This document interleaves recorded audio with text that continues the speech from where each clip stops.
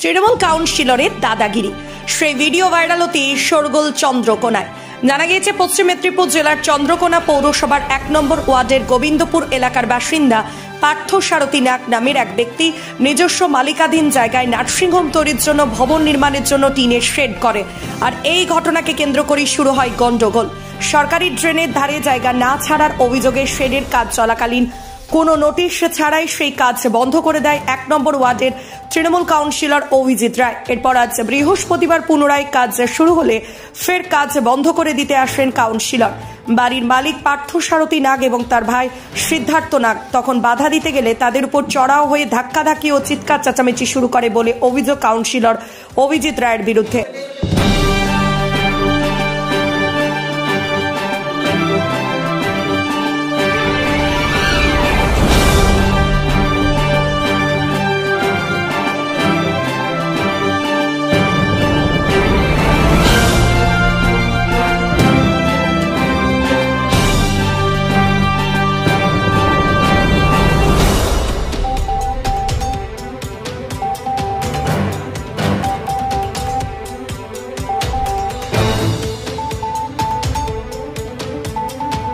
বিষয়ে পার্থ সারথী নাগ, সিদ্ধার্থ নাগ ও কাউন্সিলর অভিজিৎ রায় সহ চন্দ্রকোনা পৌরসভার চেয়ারম্যান প্রতিমা পাত্র কি বলছেন শোনাবো।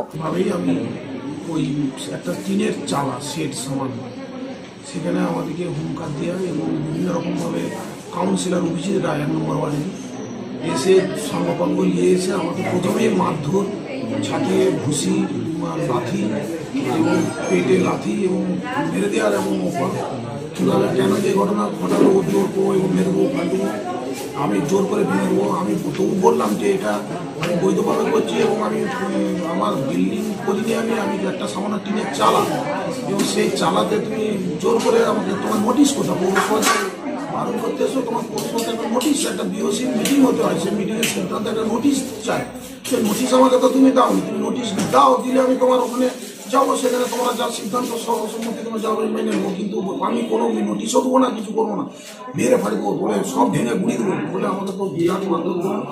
মানে কাউন্সিলর নিজেই মারধর করেছে? কাউন্সিলর নিজেই নিজেই কাউন্সিলর একদম মানে কি বলব মানে অকথ্য ভাষায় গালিগালাজ।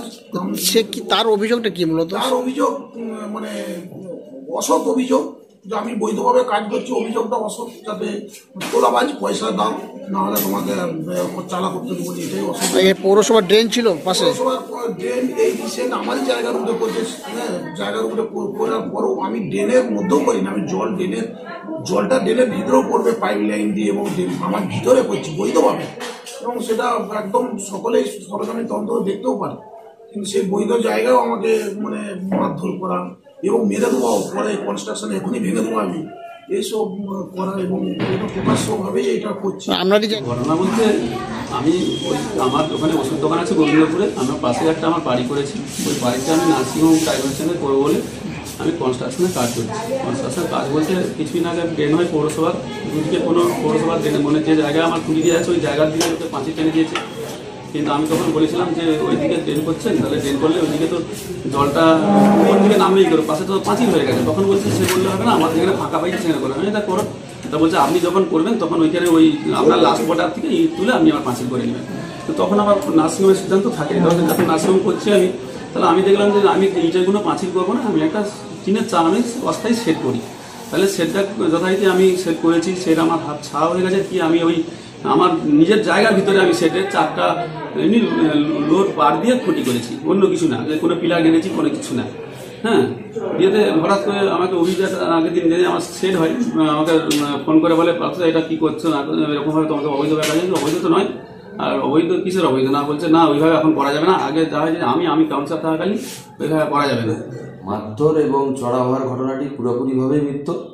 মিথ্যা ঘটনা এবং আমি প্রথম আজ থেকে তিন দিন আগে যখন অবৈধভাবে ওই ট্রাস্ট করে লোহার, আমি এলাকার মানুষের কাছে খবর পেয়ে আমি স্পটে যাই এবং তাকে শান্তিপূর্ণভাবেই আমি ভদ্রভাবেই বলি, দাদা, এই তোমার নির্মাণটা ঠিক হয়নি, তুমি পৌরসভার ইঞ্জিনিয়ারের কথা শুনে তার ইনস্ট্রাকশন নিয়ে সেইভাবে সঠিকভাবে তুমি কাজ করবে। সে মোতাবেক পরের দিন আবার শুনি, সে পৌরসভার ইঞ্জিনিয়ার তো দূরস্থ কাউকে না জানিয়ে গায়ের জোরেই প্রায় যা টাস্ট করেছিল তার অর্ধেকাংশের বেশি অংশ সে টিন দিয়ে ছেয়ে নেয় আমরা এলাকার কিছু শুভাকাঙ্ক্ষী মানুষ এবং আমার ওয়ার্ডের কিছু কর্মী সমর্থক সবাই মিলে হাজির হয়ে তাকে বাধা দিই এবং কাজ থেকে বিরত করি।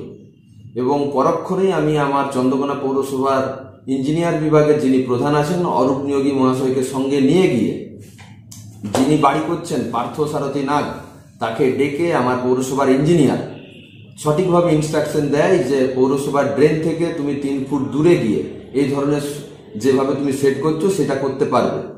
পার্থ সারথী নাগ অরূপবাবুকে বলে যে, স্যার, আমাকে সাত দিন সময় দেন। আমি ডেকে আপনার উপস্থিতিতেই কাজ করব। একদিন পরেই আজকে আবার এলাকার মানুষের কাছ থেকে আমি খবর পাই।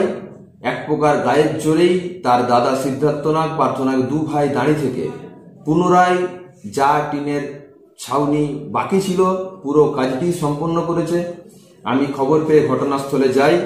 এই কথাটা ঠিক যে আমি চেঁচিয়ে কথা বলি, উত্তেজিত অবস্থায় উত্তেজিত হয়ে যাই। যেহেতু পৌরসভার ইঞ্জিনিয়ার, এলাকার মানুষ, আমি নিজে একাধিকবার, দু থেকে তিনবার গিয়ে তাকে দাদা, ভাই রিকোয়েস্ট করে, বারবার অনুরোধ করেও বারণ করা সত্ত্বেও সে গা জোয়ারি করে। রাজনৈতিক ক্ষমতা দেখিয়ে সেই কাজটা করার চেষ্টা করেছে এবং কাজটা করেছে। আমি এক নম্বর ওয়ার্ডে যে কি সেট হচ্ছে, আমি কিন্তু ব্যাপারটা কোথায় কি হচ্ছে আমি এটা কিছুই জানি না। আমাকে কাউন্সিলরও কিছু বলে না, আর যারা সেট করছে তারাও কিছু বলে না।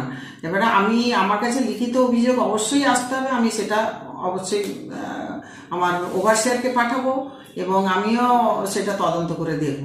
আমি এই কি ঘটনা ঘটেছে, আমি সেটা আমার কাছে কোনো অভিযোগই নেই। এখন পর্যন্ত কোনো অভিযোগ পাননি? না এখনও পর্যন্ত আমি কোনো অভিযোগ পাইনি। আমরা কাউন্সিলর বলছে যে ইঞ্জিনিয়ারকে নিয়ে গিয়েছিল সেখানে যে দেখে এসছে এবং নোটিশ কাউন্সিলর জানে আর ইঞ্জিনিয়ার জানে। আমাকে তো ইঞ্জিনিয়ারও কিছু বলেনি কাউন্সিলরও কিছু বলেনি। লিখিত আমার কাছে আসবে আমার টেবিলে আমি অবশ্যই সেটা সঙ্গে সঙ্গে আমি খতিয়ে দেখব কোথায় কি হচ্ছে না হচ্ছে। আর এইসব ব্যাপারগুলো আমি খুব শীঘ্রই মতো ওগুলা দেখি তদন্ত করে। কাজ খুঁজছেন? বিভিন্ন জেলা ও রাজ্যে নেওয়া হচ্ছে প্রচুর লোক। সিকিউরিটি গার্ড সিকিউরিটি সুপারভাইজার ও হাউসকিপিং এ চলছে নিয়োগ। আজই যোগাযোগ করুন বালাজি ইনভেস্টিগেশন সিকিউরিটি আপনার কাজের সঠিক ঠিকানা।